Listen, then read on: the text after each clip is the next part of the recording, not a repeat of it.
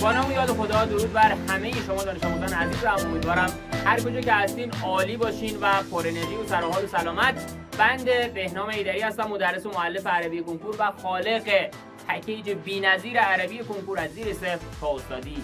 این افتخار رو دارم تا در خدمت شما عزیزان باشم با تحلیل آزمون قلمچی سوالات درس عربی تاریخ 8 اسفند ماه 99 اما دعوت می‌کنم از همه شما عزیزان که تو این تحلیل با ما همراه باشید چه اون دسته از عزیزانی که پکیج ما رو دارن چه اون دسته از عزیزانی که پکیج ما رو ندارن.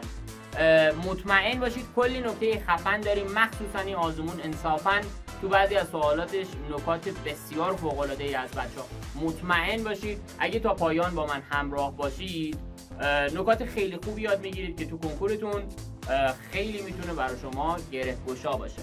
اما یه توضیح بدم خدمت دوستان عزیزم. بچه های عزیزی که پکیج جامعه زیر صفر استادی بنده رو خریداری کردن و استفاده کردن الان دارن نتایجشون می‌بینن. اما بچه های عزیزی که بنا به هر دلیلی از مجموعه من استفاده نکردن جای دیگه کلاس رفتن از مجموعه دیگه استفاده کردن و الان وقت ندارن دوباره بیان از پکیج جامعه من استفاده بکنن. ما به زودی از دو تا پکیج بسیار فوقالعاده و خوشگل رونمایی می‌کنیم که این دوتا یکیش دوره جنبندی هست یکیش دوره فراتر از جنبندی هست. ببین دوره فراتر از جنبندی ما یک دوره 18 ساعته هست که خیلی جمع و خوشگل هم مطالب کامل تدریس شده و همین که تست کار شده. این دوره جمع و جور و خوشگله و اگه یه دانش آموز حتی صفر مطلق هم باشه بعد از این 18 ساعت به راحتی اگه صفر مطلقه به درصد بالای 60 70 می‌رسه. و اگه زرنگ باشه تحلیل آزمون های ما هم ببینه قطعا می‌تونه به درصد بالای 80 90 هم فکر کنه. اما یه دوره هم داریم دوره جنبندی تحت عنوان نکته و تست. که بیشتر در قالب حل تست و آموزش نکات خفن میایم. عربی شما رو کامل براتون جمع میبندیم که دوره جمع 10 ساعته. پس ببین چی شد؟ فراتر از جمع بندی 18 ساعت جمع بندی 10 ساعت. بستگی به سطح تو داره و بستگی به این داره که شما چقدر زمان داری که متناسب با زمانی که داری یک کدوم از این مجموعه ها رو تهیه کنید که من توصیه می‌کنم اگه زمان دارید حتما دوره فراتر از جمعندی ما رو تهیه بکنید. مطمئن باشید بهترین نتیجه ممکن رو می‌گیرید و این قول رو میدم که اگه شما از یه مؤسسه ای یک مجموعه جامع خریداری کرده باشین این دوره فراتر از جنبندی ما به مراتب نسبت به اونا کامل تره چون من مجموعه های تمام مؤسسات رو دیدم و می‌دونم چه کاری برای شما انجام دادن. مطمئن باشید دوره فراتر از جنبندی ما یه دوره بی‌نظیره که صرفاً ظرف 18 ساعت می‌تونه کل عربی رو برای شما ببنده. و یه دوره جنبندی هم داریم 10 ساعته.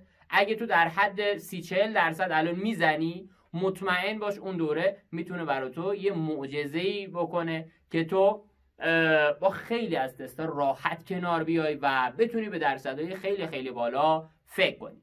خب بریم سراغ تحلیل آزمونمون. آزمون قلمچی هشتم اسفند ما دقت کنید بچه ها بخش اول سوالات ترجمه هست. من قبلا تو مجموعه توضیح دادم بارها و بارها تو تمریناتی که حل کردیم خدمت شما گفتم. باز هم میگم. وقتی قرار شما یک سوال ترجمه جواب بدی متن صورت سوال رو بیخیال شو. برو سراغ گزینه ها اول اختلاف پیدا کن تو گزینه ها نگاه کن. مثلا بچه های عزیزم گزینه یک داره میگه به سجده پرداختند. گزینه دو میگه سجده کردند. گزینه سه میگه سجده کردند. چهار میگه سجده می‌کردند. خب ببین افعالش با هم فرق می‌کنن. حالا به سجده میپرد به سجده پرداختند سجده کردند یا سجده می‌کردند. فعل متن عربی سجده هست به معنای سجده کردن. دیگه این که بیاد واژه پرداختن رو استفاده بکنه خب قطعا غلطه. این که بیاد به صورت استمراری ترجمه بشه بگه می پرداختند اینم قطعا غلطه. ما بین گزینه دو و سه باید انتخاب بکنیم. بچه های عزیزم دو و سه چه اختلافی دارن؟ یکی میگه همگی یکی میگه یک به یک. متن عربی میگه کلهم اجمعون. قطعا ما همگی رو انتخاب می‌کنیم بین این دوتا و بدون تردید پاسخ گزینه دو هست. میریم سراغ سوال شماره 22 پس شما تو سوال ترجمه یاد گرفتی می‌خوای جواب بدی اول اختلاف گزینه ها رو پیدا می‌کنی بعد مطابقت میدی با متن عربی؟ ببینی کدوم یکی درست میگه کدوم یکی خطا میگه. مهمم نیست. اختلاف اول جمله هست وسط جمله است یا پایان جمله است. نگاه کن نگاه کن. سوال شماره 22 دقت کن لطفا. گفته که مردی که به لباسهایش میبالید یکی میگه مردی که به لباسهای خود افتخار می‌کند. خب این یه اختلافه. حالا میبالید. ببین ماضی استمراری زمان گذشته است. اما افتخار می‌کند زمان حاله. خب بریم تو متن عربی. بچه های عزیزم قبلا گفتم باز هم میگم.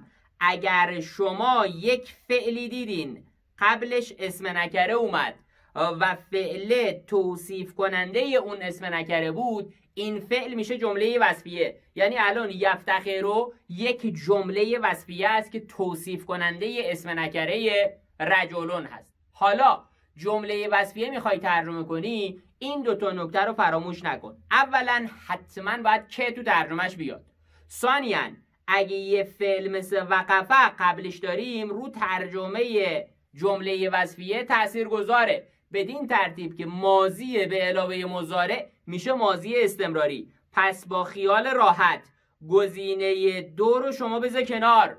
و گزینه چهار هم ببخشید گزینه سه هم که میگه میبالد نگاه کن اینم قطعا تو باید حذف کنی چون زمان حاله. ما ماضی استمراری می‌خوایم گزینه چهار چی گفته؟ افتخار می‌کرد. خب این بچه می‌تونه باشه و قطعا غلط نیست. خب حالا بین یک و چهار باید انتخاب بکنیم. چون دو و سه که حذف شد. نگاه کن. نگاه کن. بین دو و چهار. ببخشید بین یک و چهار. یک میگه شروع به صحبت کرد. چهار میگه سخن خود را شروع کرد. ما سخن خود نداریم. بچه نگاه کنید. بعد ابل کلام. اصلا کلام به چیزی اضافه نشده. پس من نمی‌تونم بگم سخن خود.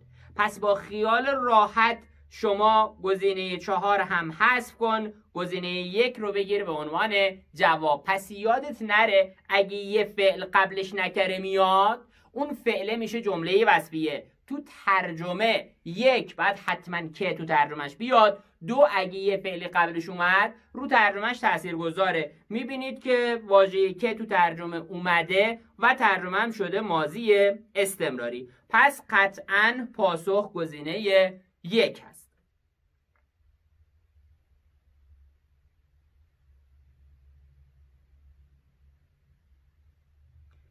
بریم سراغ سوال شماره 23 دقت کنید بچه ها میریم تو متن میگردیم دنبال اختلاف. گزینه یک زبان دو زبان سه زبان چهار زبانت. یه اختلاف داریم. متن عربی میگه اللسان خب پس زبانت غلطه. یعنی گزینه چهار همینجا رفت کنار.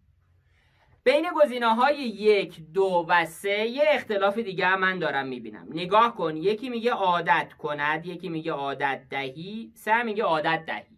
متن عربی میگه الی که ان تو اویدی بچه بوده تو اویدی نه مثل تذهبی نه فعل مال انته هست. یعنی تو عادت بدی. خب قطعا ما می‌دونیم که گزینه یک بعد بره کنار. عادت کند غلط فعل مال انته هست. و بعد برای تو ترجمه بشه. حالا بین گزینه دو و گزینه سه یک اختلاف خوشگل پایانش. یکی میگه تهمت ها یکی میگه تهمت. متن عربی لل تو هم بچه تو هم جمع مکسر تهمته. پس قطعا شما گزینه سه هم حذف کن. گزینه دو جواب این تسته. می‌بینید چقدر راحته. اگه طبق اصولی که بهت میگم سوالات ترجمه رو جواب بدی. اما بریم سراغ سوال شماره 24 قبل از اینکه سوال 24 رو برات حل بکنم می‌خوام مختصر توضیحی راجع به بخش استثنا بدم خدمتتون. چون می‌دونم تو بخش استثنا اون دسته از عزیزانی که پکیج ما رو ندارن و دارن تحلیل رو می‌بینن دچار مشکل میشن. نگاه کنید نگاه کنید بچه های عزیزم. به طور کلی استثنا یعنی چی؟ بچه ها استثنا یعنی اینکه من بیام یک جزء رو از یک مجموعه کلی استخراج کنم. ببین نگاه کن اینجا رو ببین. مثلا من داشته باشم جاء التلامیز الا علیان.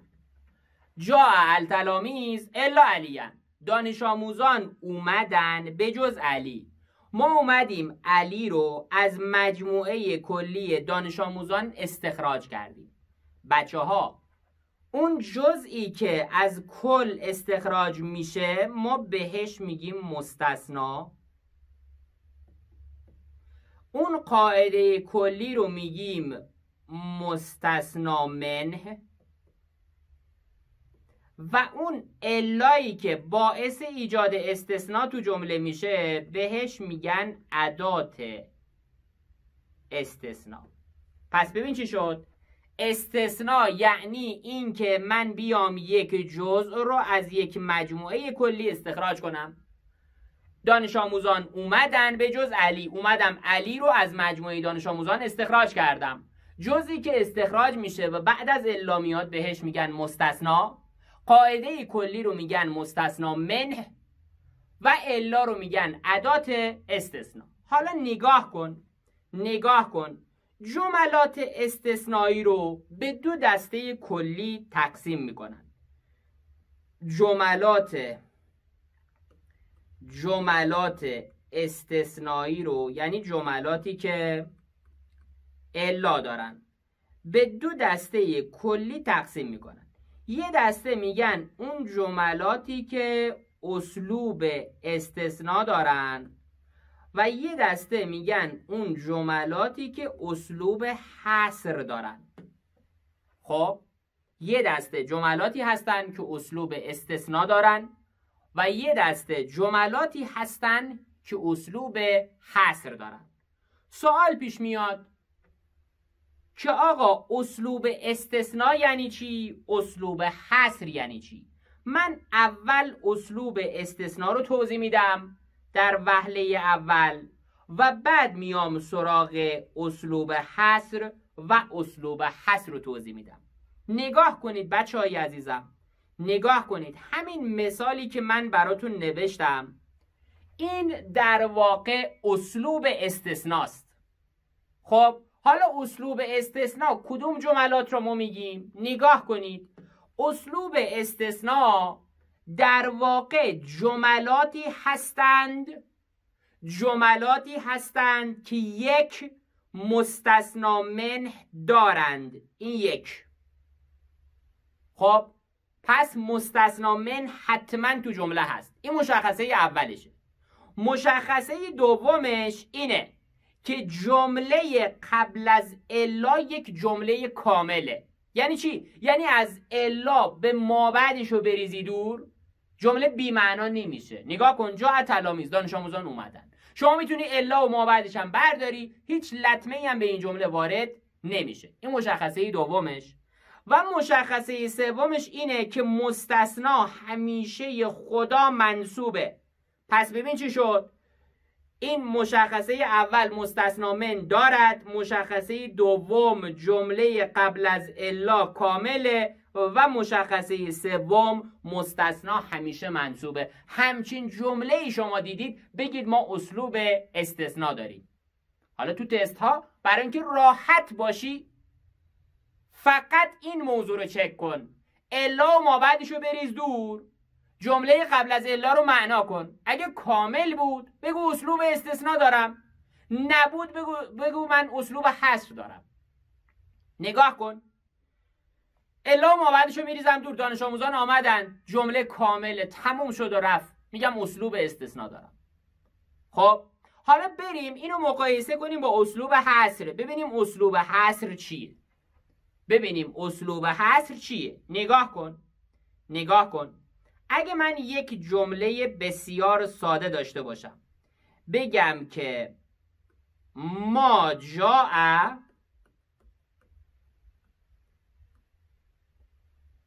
الا علیون. نگاه کن. این جمله اسلوب حسره حالا سوال پیش میاد چرا اسلوب حسره اصلا حسر یعنی چی؟ نگاه کنید بچه های عزیزم. ما گفتیم در اسلوب استثنا مستثنا منه داریم. حالا تو یاد بگیر در اسلوب حصر مشخصه اول اینه که ما مستثنا منه نداریم. مستثنا منه نداریم. یعنی اون قاعده کلی که جزء ازش استخراج کنیم نداریم. الان واژه علی که مستثنای من باشه از هیچ قاعده کلی ما قبل الا جدا نشده. مستثنا منهی در کار نیست. این مشخصه اول. مشخصه دوم ما اومدیم گفتیم در اسلوب استثناء جمله قبل از الا کامل تو معنا. ولی اینجا جمله ما قبل الا قطعا یک جمله ناقصه. نگاه کن. ما جا نیامد. خب کی نیامد؟ چی کم داری؟ فائل خب؟ چی کم داری؟ فائل بنابراین بعد الا و ما بعدش بیاد که جمله رو تکمیل بکنه. مگه من فائل کم نداشتم؟ الان مستثنای من حکم فائل رو داره به خاطر همین مرفوعه. پس تو به این نتیجه می‌رسی. پس تو به این نتیجه می‌رسی که آقا جان ما یاد گرفتیم در اسلوب استثناء واجهی که بعد از الا میاد همیشه منصوبه.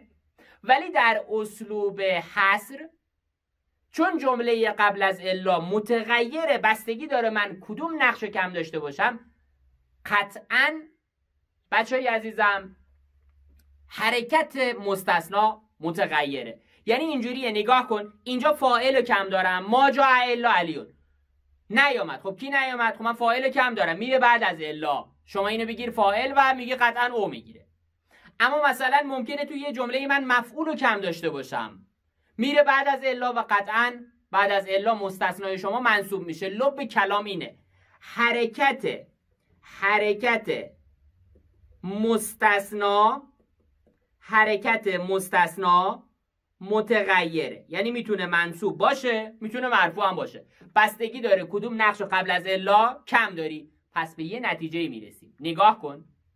وقتی مستثنا منصوبه هم جمله شما استثناش می‌تونه اسلوب استثنا باشه هم می‌تونه اسلوب حصر باشه. ولی وقتی مرفوعه فقط و فقط می‌تونه حصر باشه. مثل اینجا مستثنای من مرفوعه او داره فقط و فقط می‌تونه حذف باشه. چرا این حرفو می‌زنم؟ نگاه کن. گفتیم در اسلوب استثنا مستثنا همیشه منصوبه. ولی در اسلوب حصر متغیره. یعنی می‌تونه مرفوع باشه می‌تونه منصوب هم باشه. پس وقتی منصوبه مشترکه جفتش می‌تونه باشه. ولی وقتی مرفوعه فقط حصر می‌تونه باشه. خب این نکته که خیلی بهت کمک می‌کنه تو زدن تستا. و نکته چهارم این که نکته چهارم این که جمله ما قبل الا یکی از این دو حالته حتما یا منفی یا سوالی. ولی در اسلوب استثناء جمله قبل از الا بچه های عزیزم می‌تونه منفی باشه می‌تونه سوالی باشه می‌تونه مثبت هم باشه. پس به یه نتیجه می‌رسیم. وقتی جمله قبل از الا منفیه یا سوالیه هم جمله می‌تونه اسلوب استثناء باشه هم می‌تونه اسلوب حصر باشه. ولی وقتی جمله قبل از الا مثبت باشه قطعا استثناء تامه. ببخشید استثناء تام برای نظام قدیم استفاده می‌کردیم برای نظام جدید بعد بگیم اسلوب استثناست. اگه قبل از الا مثبت باشه قطعا اسلوب استثناء داریم اسلوب حصر نداریم. حالا اگه من بخوام برات جمع ببندم اینجوری میگم. اگه یه جمله به تو میدن نوع استثناء رو ازت می‌خوان. یه جمله به تو میدن نوع استثناء رو ازت می‌خوان. شما اول شما اول نکات ظاهری رو بررسی کن. نکات ظاهری. نکات ظاهری چیه؟ نگاه کن. نگاه کن. نکات ظاهری اینه. نگاه. اگه شما اومدی توی جمله الا دیدی قبلش مثبت بود. قطعا اینجا ما اسلوب استثنا داریم. خب اگه اومدی توی جمله دیدی ما الا رو داریم بعد از الا مستثنا اومده مستثنای ما هم مرفوعه. اینجا قطعا حصر داریم. اینجا قطعا حصر داریم. و یه نکته دیگه هم بهت میگم. اگه الا رو داشتی بعد از الا من اومد با زمیر غایب. زمیر غایب منظور منهم من هو هست منها هست. خب؟ دلیل علمیشو الان اینجا نمی‌تونم بهت بگم چون بحثمون تحلیل آزمونه و اگه من بخوام اونو باز کنم خیلی زمان می‌بره. خب فقط تو بدون من با زمیر غایب اگه بیاد 99 درصد اسلوب استثناء داریم. خب پس الان ما یه چیزی یاد گرفتیم. اونم این بود که آقا جملات استثنایی به دو دسته تقسیم میشن. یه دسته اسلوب استثنایی یه دسته اسلوب حذف. حالا اگه جمله الا داره نوع استثنا رو از من می‌خوان اول از این نکات ظاهری استفاده کنم. اگه این نکات ظاهری تو جمله نبودن برو سراغ معنای قبل از الا. این همیشه خدا جواب میده. نگاه کن معنای قبل از الا کامل باشه یعنی اسلوب استثنا داریم. و معنای قبل از الا ناقص باشه یعنی اسلوب حصر داریم. یه سوالم برات پیش میاد. میگه آقا چرا ما داریم میگیم حصر؟ چرا ما داریم میگیم حصر؟ نگاه کن رو مثال توضیح میدم. این جمله رو ببین. ما جا الا علیون. من می‌خوام این جمله رو برای شما ترجمه کنم. بچه اگه من کلمه به کلمه اینو ترجمه بکنم اینجوری میشه. نیامد جز علی.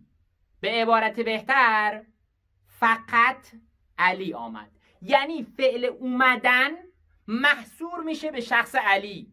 منحصر میشه به شخص علی. از این جهت اینو میگن اسلوب حصر. بهترین ترجمه برای اسلوب حصر اینه بچه ها لفظ فقط رو بذارن ادامه جمله رو مثبت ترجمه کنن. فقط علی آمد. دیگه نیای بگی آقا فعل جمله منفیه. پس این ترجمه غلطه. نه کاملا درسته. پس وقتی اسلوب حصر داشتی این نکته رو رعایت کن. نگاه کن بهترین ترجمهش اینه. لفظ فقط رو بذاره ادامه جمله رو مثبت ترجمه کنه. کلا وقتی لفظ فقط میاد دو تا نکته یادت نره. یک ادامه جمله حتما باید مثبت باشه یعنی فعل منفی من نداشته باشم. دو اولین واژه‌ای که بعد از فقط میاد باید بشه اولین واژه‌ای که بعد از الا میاد. اگه اینجوری نباشه غلطه. یعنی اگه من بگم فقط آمد علی این غلطه. بعد بگم فقط علی آمد. یعنی اولین واژه‌ای که بعد از لفظ فقطه بعد اولین واژه‌ای بعد از الا باشه. پس بچه‌ای عزیزم جمع بندم. جملاتی که الا دارن ما میگیم استثنا داریم. خب حالا اگه نکات ظاهری داشتی نوع استثنا رو تعیین می‌کنی با همون نکات ظاهری. نکات ظاهری نداشتی قبل از الا رو معنا کن. جمله کامل بود شما بگو استثنا اسلوب استثناست. اما اگه کامل نبود بگو اسلوب حسره خب تو ترجمه کردن اسلوب استثنا به هیچ عنوان با لفظ فقط ترجمه نمیشه. ولی اسلوب حصر بهترین ترجمهش لفظ فقطه. وقتی فقط یا تنها میاد اولا ادامه جمله کامل بشه مثبت. ثانیا اولین واژه‌ای که بعد از الا میاد بعد بشه اولین واژه‌ای که بعد از فقط میاد. اینم مختصر توضیحی راجع به استثناء. البته من تو پکیجم این قسمت رو شخم زدم. یه عالمه تست حل کردم و حدود سه ساعت کامل نقل این من بحث کردم. خب اینجا خیلی خلاصه گفتم. حالا بچههایی که پکیج رو دارن براشون مرور بشه و بچههایی که پکیج رو ندارن بفهمن چی کار می‌کنیم تو تحلیل ها دقت کنید بچه های عزیزم سوال شماره 24 سوال شماره 24 یه سوال خیلی خوشگله. خب؟ اول من تست به لحاظ ترجمه جواب بدم بعد نکاتشو برات بررسی کنم. نگاه کن. به لحاظ ترجمه ما میگردیم دنبال اختلاف و ساده ترین اختلافات رو پیدا می‌کنیم. مثلا نگاه کن. گزینه یک میگه استاد شیمی گزینه دو میگه استاد. با خیال راحت یک رو می‌ذاری کنار. چون تو متن استاد شیمی نداریم. گفته ال استازت خب به واژه شیمی اضافه نشده که بگیم استاد شیمی. بنابراین یک رفت کنار. خب گزینه های دیگه یه اختلاف خیلی خوشگل دارن. یک میگه به تاخیر بیفتد. ببخشید دو میگه به تاخیر بیفتد سه میگه به تاخیر اندازد و چهار میگه به تاخیر بیاندازد. بچه متن عربی رو نگاه کنید. یو عجل و فعل مزاره با او شروع بشه دومین حرف اصلی ا داشته باشه. یعنی فعل مجهوله پس من بگم به تاخیر اندازد. یا به تاخیر بیاندازد غلطه. بعد بگم چی؟ به تاخیر بیفتد. چون وقتی میگم به تاخیر بیاندازد یعنی او به تاخیر بیاندازد. یعنی فائل داریم یعنی کننده کار داریم. در حالی که فعل مجهول اصلا فائل نداره. پس جواب بدون تردید گزینه دو هست. خب ما به جواب تست رسیدیم. اما یه سری نکات خوشگل بعد به شما بگم. بچه ها یادتون نره نگاه کن. نگاه کن. لم وقتی میومد سر فعل مزاره پایان فعل مزاره رو ساکن می‌کرد. خب که گفتم حواست باشه اینو با لمه اشتباه نگیری. لم میاد پایان ساکن می‌کنه. تو ترجمه هم ترجمه میشه مازی ساده منفی. حالا نگاه کن. این سکون قبلا به تو یاد دادم. اگه به ال برخورد کنه تبدیل به کسره میشه. مثلا لم تذهب ال تلمیزد تو زبان عربی نمیگن. میگن لم تذهبل تلمیزد اینجا هم نمیگن لم توافق الاستازد میگن لم توافق الاستازد خب چون سکون و ال برخورد کنه تو عربی کسره می‌ذارن. یعنی تلفظشون اینجوریه. شما باید حواست باشه اشتباه نکن پس لم میاد سر فعل مضارع. پایان ساکن می‌کنه ترجمه میشه ماضی ساده منفی. و اینکه سکون و ال برخورد کنه تبدیل به کسره میشه. خب این دو تا نکته که خیلی مهم شما بدونید. بعد نگاه کن این جمله الا داره. خب و تابلوه که این سلاست ایام یعنی مستثنای ما از هیچ قاعده کلی قبل از الا جدا نشده یعنی مستثنا من نداره. وقتی مستثنا من نداره یعنی اینجا ما حصر داریم. بهترین ترجمه برای حصر چی بود؟ لفظ فقط بیاد ادامه جمله رو مثبت ترجمه کن. اولین واژه بعد از الا هم بشه اولین واژه بعد از فقط. از اونجایی که تنها اومد نگاه کن. لفظ فقط اومد اولین واژه بعد از الا شد اولین واژه بعد از فقط. سه روز. ادامه هم که داری می‌بینی مثبته. این موافقت کردم کلا به خاطر وجود الا هست بچه ها فعل های منفی تبدیل شدن با به فعل های مثبت. حواست باشه که اشتباه نکنی. یه تست بسیار بسیار خوشگل بود. بریم سوال شماره 25 سوال شماره 25 دقت کن لطفاً. گزینه یک داروهای گوناگونی. گزینه دو داروهای مختلف. خب نگاه کن. ادویت مختلفت قطعا نکره است بچه ها. پس باید بگه داروهای مختلفی به صورت نکره. پس دو رو می‌ذاریم کنار. بین گزینه یک و سه. یکی میگه درمان یکی میگه پیشگیری. آقا علاج یعنی درمان. همه اینو می‌دونن. پس با خیال راحت گزینه در واقع سه هم بذار کنار. بین یک و چهار. صحبت می‌کنن در گزینه چهار اومده در گزینه یک نیومده. متن عربی میگه یه تحدث و با پس بعد حتما این فعله باشه. پس یک هم میره کنار. چهار جواب تموم شده سوال شماره 26 سوال عین خطا. بچه کلا عین صحیح. عین خطا اول فعل جمله. نگاه کن. نگاه کن. گزینه یک گفته می شود فعل جمله. یقالو قطعا یه فعل مجهوله و درسته. فقط حق مقابل قاضی عادل. مقابل قاضی عادل که داریم فقط حق الا الحق. بچه همین الان توضیح دادم. چند دقیقه پیش گفتم اون جایی که اسلوب حصر داریم وقتی لفظ فقط می‌ذارن اولا ادامه جمله کامل باید مثبت باشه که شد. دوما اولین واژه‌ای بعد از فقط بعد بشه اولین واژه‌ای بعد از الا که کاملا درسته. می‌بینی قواعدی که بهت میگم چقدر خفنن؟ بریم گزینه دو. گزینه دو رو نگاه کن. این لم رو با لمه اشتباه نگیرید بچه ها لمه پایان و ساکن نمی‌کنه اما لم پایان و ساکن می‌کنه. لمه مخفف لمازا است به معنای برای چه؟ اما لم وقتی میاد سر فعل مزاره تبدیل میشه ترجمه مزاره به ماضی ساده منفی. نگاه کن. ال ساکن نشده پس بدون این لمه هست. و بعد اینجوری ترجمه بشه. بنتی دخترم برای چه مخالفت می‌کنی؟ تا اینجاش که درسته. با چیزی که حقیقت آن را نمی‌فهمی. با چیزی که نمی‌فهمی حقیقت آن را کاملا درسته. هیچ ایرادی نداره. میریم سومی اول فعل و بعد موارد قبل از فعل. پاسخ بدهند. خب پاسخ بدهند. ان اوجی و صدیقای. کیا پاسخ بدن؟ دو دوستم. همچون پاسخ من به معلم. مثل پاسخ من به معلم. اینجا هم که درسته. فعل اولش هم بررسی کن. هرگز زمانت نکرده ام بچه لم سر فعل مزارع بیاد. هم ماضی ساده منفی می‌تونه ترجمه بشه. همین که ساده خودش می‌تونه نقلی ترجمه بشه. هرگزش هم که دقیقا ابدا هست. پس خطا باید در گزینه چهار باشه. بچه های عزیزم. بچه های عزیزم یادتون نره. من به شما گفته بودم. اگر یک موصول خاص مثل الذی مثل علتی مثل الذین بلا فاصله بعد از یک الدار بیاد 99 درصد نمیگم 100 درصد 99 درصد به صورت ایکه ترجمه میشه. یعنی من نمی‌تونم بگم گردشگران کسانی هستند که بعد بگم گردشگرانی که. اون یه درصد می‌پرسید کجاست؟ اون مفصل بچه من توضیح دادم تو نکات طلایی هم. برای شما آوردم و نقل این بحث کردم. چه موقع کسانی که چه موقع به صورت ایکه ترجمه بشه. در هر صورت همتون می‌دونید الان پاسخ گزینه چهاره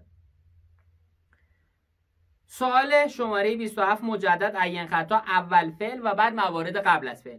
گزینه یک فعل نباشد التزامی منفی لا یکونه خب می‌تونه باشه. کلا بچه بعد از تفضیل اگه یه فعلی میاد اون فعله می‌تونه به صورت التزامی ترجمه بشه چون اینجا تفضیل داریم. بزرگتر بزرگترین دشمن انسان زبانی است که در اختیارش نباشد. خب بزرگترین دشمن انسان رو داریم زبانی به صورت نکره. بله در اختیارش هم که داریم. بله کاملا درست. میریم دومی اول فعل. صدا نخواهد زد. هرگز صدا نخواهد زد. متن عربی نگاه می‌کنم به فعل لن اومده سر فعل مزاره ترجمهش میشه آینده منفی. این درست.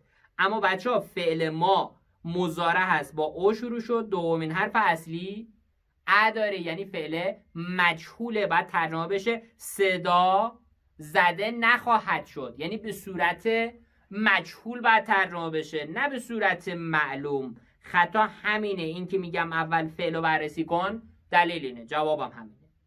اما بریم سوالات در واقع فارسی و عربی که بسیار بسیار سادن و هیچ دردسری برای شما ندارن این سوالات نگاه کنید بچه های عزیزم. نگاه کنید. شما در سوالات فارسی و عربی اختلاف گزینه ها رو پیدا کن. همین. نگاه. مثلا مثلا. یک میگه کتاب دو میگه کتاب سه میگه ال کتاب چهار میگه کتاب متن عربی میگه کتابی را که. خب پس من با خیال راحت سه را حذف دوباره میگردم دنبال اختلاف. دوباره میگردم دنبال اختلاف. نگاه کن. نگاه کن. اگه شما دنبال اختلاف بگردی الیوم الیوم یومن. داره میگه امروز پس ما یومن رو حذف می‌کنیم. گزینه چهار هم رفت کنار. بین گزینه یک و گزینه دو بعد انتخاب بکنیم. نگاه کن. یکی میگه یساعدونی یکی میگه قد ساعدنی متن فارسی ما میگه کمک کرده بود به صورت ماضی بعید. بچه های عزیزم ما در هر دو جمله یعنی گزینه یک و دو یه فعلی داریم که قبلش اسم نکره اومده. فعلی که قبلش اسم نکره میاد و توصیف کننده اون نکره است میشه جمله وصفیه. جمله وصفیه می‌خوای ترجمه بکنی یک اینکه بعد با که شروع بشه. دو اگه یه فعلی مثل اهدهی تو قبلش میاد رو ترجمهش تاثیر گذاره بدین ترتیب که ماضی به علاوه ماضی ماضی بعید می‌سازه ولی ماضی به علاوه مضارع ماضی استمراری می‌سازه. پس با خیال راحت یک رو حذف کن چون ماضی استمراری می‌سازه. و گزینه دو رو بگیر جواب ماضی بعید می‌سازه. اهدهی دو با قد ساعدنی. فعل ماضی دیگه قطعا ماضی بعید می‌سازه و گزینه دو جواب این تسته. از اینجا به بعد ترتیب سوالات بچه به هم می‌خوره ولی همشون کار میشه. شما فقط به شماره سوالات نگاه کن. سوال شماره 37 گفته ایر المفعول موصوفا بالجملت فعلیت. گفته مفعولی پیدا کن که موصوف برای یک جمله فعلیه. بچه ها یادتون هست تعریف جمله وصفیه تو پکیج با هم کار کردیم؟ من به شما تو پکیجم توضیح دادم. گفتم جمله وصفیه یک جمله فعلیه یا اسمیه هست که خوشبختانه اسمیش از کتاب نظام جدید حذف شد پس بهتره بگیم یه جمله فعلیه است. بعد به شما آموزش دادم جمله فعلیه به چی میگن؟ به فعل میگن. هر فعلی هر کجای جمله برای خودش یه جمله فعلی است. پس به جای اینکه بگیم جمله وصفیه یک جمله فعلیه هست بهتره بگیم جمله وصفیه یک فعله. اون فعله بعد از یک اسم نکره به کار میره و توصیف کننده اون اسم نکره است. یعنی اون فعل ما میشه صفت از نوع جمله وصفیه و اون اسم نکره میشه موصوف. حالا ببین سوال چی پرسیده؟ میگه مفعولی پیدا کن که موصوف برای یک جمله فعلیه. وقتی موصوف باشه برای یه جمله یعنی جمله وصفیه داشته باشم بعد اون اسم نکرم نقشش مفعول باشه. یعنی شما دنبال یه فعل بگرد. قبلش اسم نکره بیاد حالا بلا فاصله یا با فاصله. بعد اسم نکره رو توصیف کنه نقش اسم نکره مفعول باشه. خب گزینه یک فعلی که من قبلش اسم نکره داشته باشم اینه. تمنع و فعل من موعظت اسم نکره من. گزینه دو فعلی که قبلش نکره باشه اینه ینقذو قبلش هم صدیقا مخلصن و گزینه سه فعلی که قبلش نکره باشه دوتا داریم.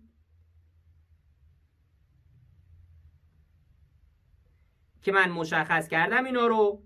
و گزینه چهار فعل من اینه و اسم نکره قبلش که خودش یه موصوف و صفته.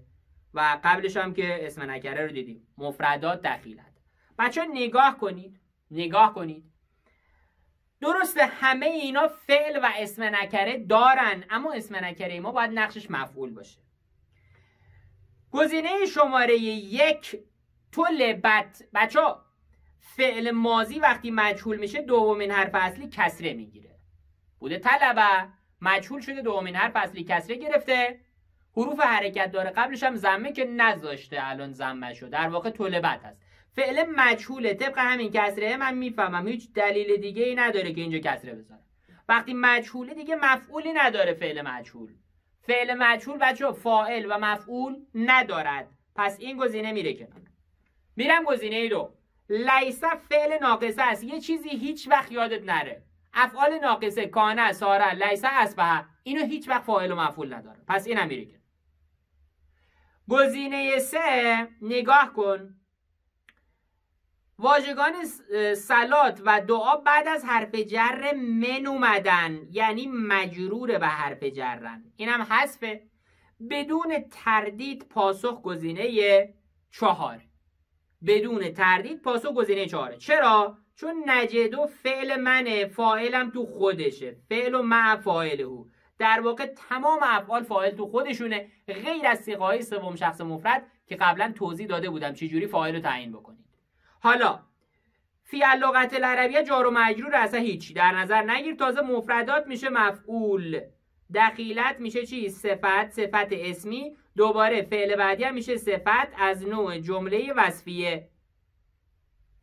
خب و اینه که در واقع میشه جواب این تست ما. بریم سراغ سوال شماره 35 عبارتی که خالی باشه از تضاد یعنی تضاد نداشته باشی آقا گزینه یک. متردد واسق. گزینه دو یزیق و یتسع. گزینه سه. نداریم ظاهرا و جواب همینه. گزینه چهار انفع و ازر سوال شماره 32 سوالات تحلیل صرفی که بچه های ما که پکیج رو دارن بعد رو هوا بتونن به این سوالات جواب بدن. بچه تو این سوالات اختلاف دیدی اختلاف بررسی کن. ندیدی مواردش رو بخون. ببین کدومش درسته کدومش غلط. نگاه کن. مثلا گزینه 3 و 4 یکی میگه ماضی یکی میگه مزاره آقا تابلوه تابلو این فعله یه فعل ماضیه. چرا؟ چون این ت اومده پایان فعل ما. بقیهش که می‌دونی زمیر یه به عنوان مفعول چسبیده به فعل بینشون نون وقایع اومده. زمیر یه به عنوان مفعول به چسبه به فعل بینشون نون وقایع میاد. خب؟ این ت ساکن ت توما توم اینا بیان پایان فعلی قطعا فعل ماضیه. پس گزینه چهار رفت رو هوا. خب؟ بین دو و سه دقت کن لطفا. دو و سه. گزینه سه میگه یه دونه حرف زائد داره. اگه فعل مزید باشه می‌تونه یه دونه حرف زائد داشته باشه. بعد گزینه سه ببخشید سه اینجوری میگه. دو میگه که حرف نون از حروف زائده در حالی که حرف نون نون وقایع است. ربطی به حروف زائد فعل نداره. پس این گزینه هم رفت کنار. گزینه سه و گزینه یک من اختلاف خاصی نمی‌بینم ولی یه چیزی هست. گزینه سه داره میگه مفعول الکلاب هست بچه ها نگاه کنید. شما اگه برید تو متن نگاه کنید لل کلاب جار و مجروره. وقتی جار و مجروره نمی‌تونه مفعول باشه. تازه مفعولش که تابلوه. زمیری یه به عنوان مفعول چسبیده به فعل. متن درک مطلب رو ببینید. این واژه جار و مجروره. پس بدون تردید یک جواب این تست بچه ها بریم بعدیش. اول میگردی دنبال اختلاف. اختلاف ها رو بررسی کن. اگه اختلاف ندیدی مواردش رو بخون. ببین کدوم درسته کدوم غلط. یعنی گزارهایی که گذاشته اینا رو بخون. الان شما اگه نگاه بکنید اختلافات خوبی ما پایانش داریم. یکی میگه که این واژه خبره یکی میگه این واژه مبتداه خب برگردیم به متنش ببینیم نقش این واژه چیه.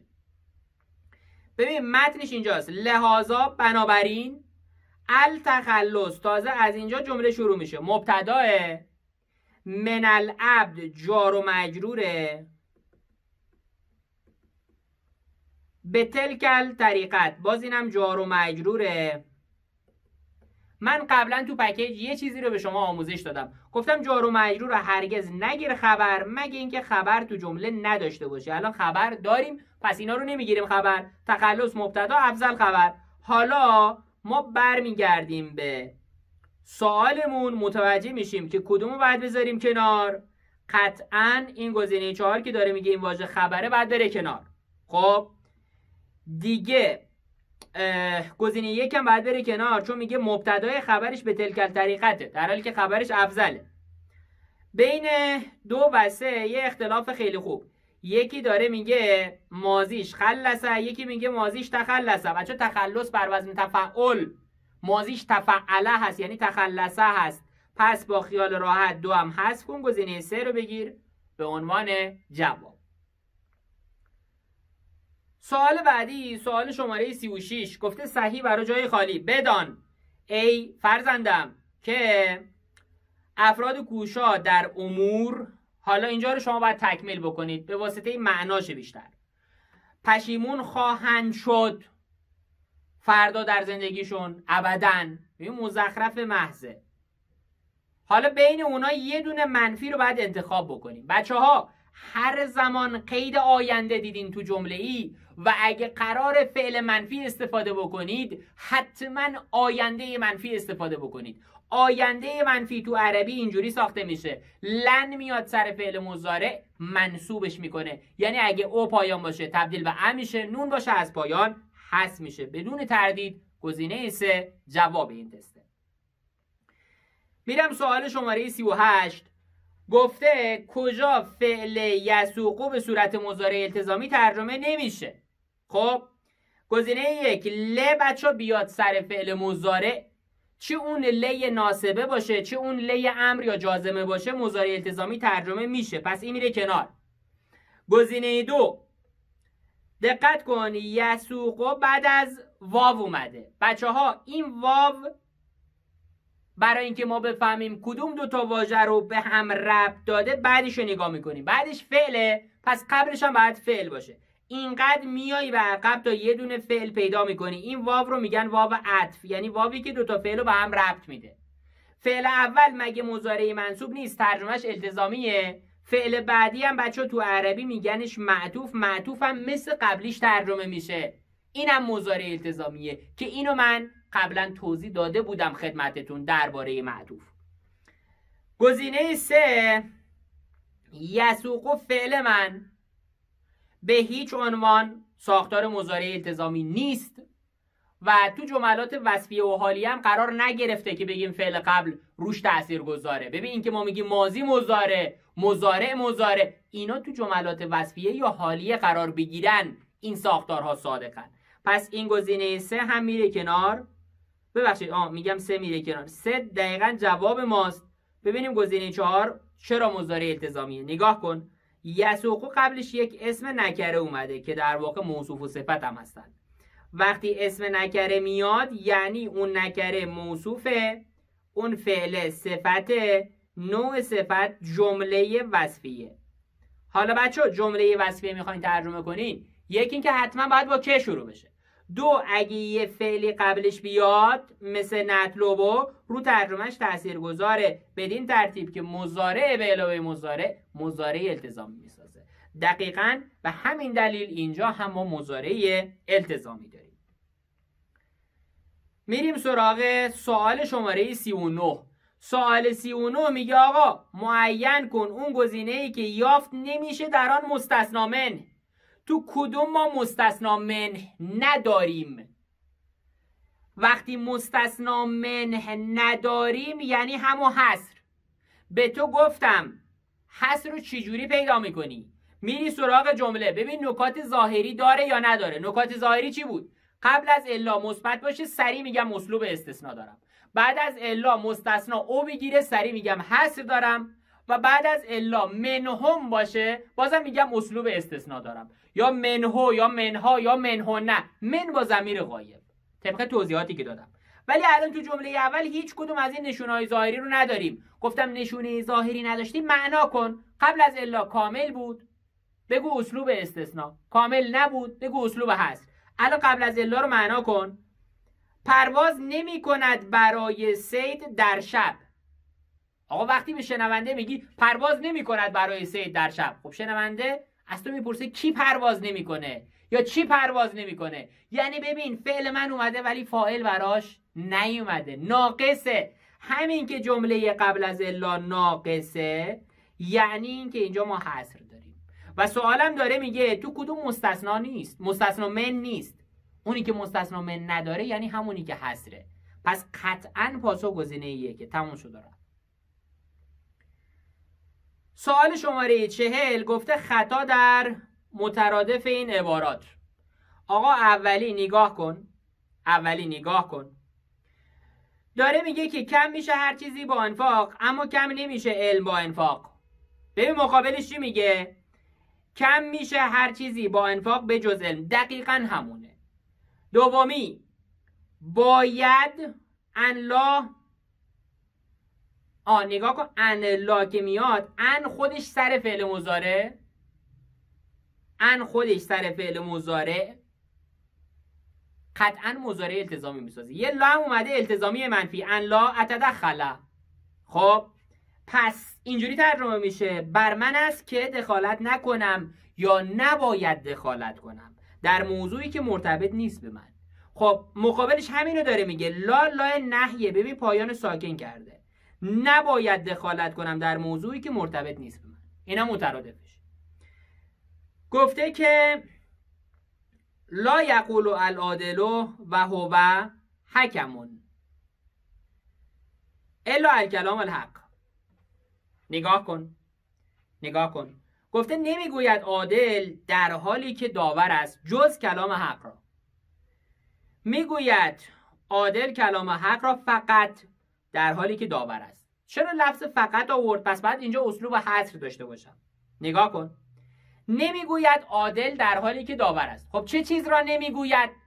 ببین مفعولی نیومده جمله قبل از الا ناقصه همین که ناقصه یعنی حصر دارم.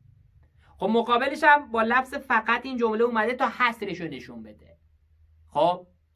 و گزینه چهار همین که اینجا منهم گذاشت یعنی اسلوب استثناء.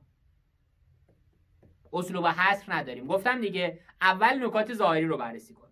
حالا این لفظ فقط رو ببین. اینا با هم همخوانی ندارن. ما اسلوب حصر رو به صورت فقط و تنها ترجمه می‌کنیم. اسلوب استثناء رو اینجوری ترجمه نمی کنیم باز میگم بچههایی که پکیج رو ندارن احتمالا تو همچین سوالاتی گیج میشن.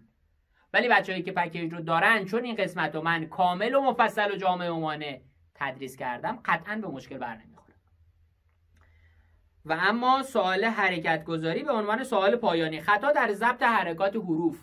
بچه های عزیزم ما گفته بودیم ضبط حرکاتی کلمات می‌خواین جواب بدین. اول اینا رو بررسی کن. فعل ها و مصادر مزید. دوم اسم فاعل اسم مفعول تفصیل مبالغه مکان. اینا رو بررسی کن. و بعد حواست باشه به نشانه های مصنا آنه عینه که همیشه پایانشون کسره باشه. نشانه های جمع مذکر سالم. اونه اینه که همیشه پایانشون فتحه باشه. و همچنین یه سری نکات ریز مثل ان ان ان ان که این حرکات رعایت بشه. و یه سری کلمات مشابه که من مفصل اینا رو خدمت شما گفته بودم. ولی پرتکرارترینش همین مشتقات یعنی اسم فاعل اسم مفعول تفصیل مبالغه مکان. اینا هستن خطاها بیشتر تو ایناست و تو فعل ها و مصادر مزید. شما باید اینا رو بررسی کنید. نگاه کن. دقت کن لطفا. گزینه یک از مواردی که جزو پرتکرارترین هان عاقل بر وزن فاعل درسته. یتکلمو بر وزن یتفعلو اینم درسته. از فعل ها و مصادر مزید. اول همیشه همین دوتا رو بررسی کن. فعل ها و مصادر مزید اسامی مشتق. اگه به جواب نرسیدی برو سراغ سایر چیزها. بریم گزینه دو. مؤمن اسم فاعله. با مو شروع شد دومین حرف اصلی ا داره. یجادلو یفاعلو. مخاطب بعد نونش هم که فتحه داره چون جمعه و کاملا درسته. تعنت بر وزن تفعول مستر مزید حرکاتش درسته. گزینه سه. دقت کن. یه دونه واژه دارم با مو شروع شده دومین حرف اصلی رو ا گذاشته. یعنی گفته اسم مفعوله. در حالی که این واژه تو ترجمه یعنی چی؟ یعنی شنوندگان. بچه شنونده یعنی کسی که میشنوه حالت کنندگی کار داره. اسم فائله نه اسم مفعول. پس بعد دیگه چی؟ مستمعین نه مستمعین. خب نباید به صورت اسم مفعول باشه. خطا تو همین واژه‌ایه که به صورت اسم مفعول نوشته شده پس تو فهمیدی اینایی که با مو شروع میشن دومین حرف اصلی ا بگیره اسم فاعلن دومین حرف اصلی ا بگیره اسم مفعولن. ترجمه تعیین می‌کنه که ما ا بذاریم یا ا بذاریم. که اینجا طبق ترجمهش بعد ا میذاشتیم. پس دیدین که باز خطا تو مشتقات یعنی اسم مفعول بود. بعد به صورت اسم فاعلی نمیشه. اینه که میگم اول همیشه اسامی مشتق رو بررسی کنید یعنی اسم فاعل اسم مفعول تفسیر مبالغه مکان. و همچنین فعل ها و مصادر مزید. 90 درصد تو اینو به جواب می‌رسید یعنی 99 یه درصد ممکنه خطا در سایر چیزها باشه چقدر تحلیل امروزمون تحلیل کامل و جامع و مانعی بود. بچه های عزیزم امیدوارم نهایت استفاده رو از این تحلیل برده باشید. لطفا حتما نظر بدین. آقا یک کلمه برا من بنویس که تحلیل رو دیدی یا ندیدی. تو آیدی برا من بفرست که بدونم چند نفر این تحلیل ها رو می‌بینن. که بدونم آیا باید اینا رو ادامه بدم یا ادامه ندم. نظر تو بگو. دیدی ندیدی خوب بود بد بود اینو بگو که من فیدبک تو رو ببینم. اما موضوع بعد بچه های عزیزم هر دوره ای که رفتی هر کلاسی که رفتی هر کتابی که خوندی از دوره فراتر از جنبندی ما غافل نشید که در واقع می‌تونم بگم همون فراتر از جنبندی و هم جنبندی که براتون ضبط می‌کنم جفتش معجزه می‌کنه برای شما تو کنکور سراسری. دوره فراتر از جنبندی مثل یک دوره صفر تا صد میمونه و دوره جنبندی یک نکته و تست بسیار بسیار بی‌نظیره که ظرف ده ساعت فقط شما رو آماده می‌کنه برای بالاترین درصد. خسته نباشید بچه های عزیزم. خیلی خوشحال بودم از اینکه در خدمتتون بودم. تا تحلیل بعدی همه شما عزیزان رو به خدای بزرگ خیلی دوستتون دارم. خدا نگهدار.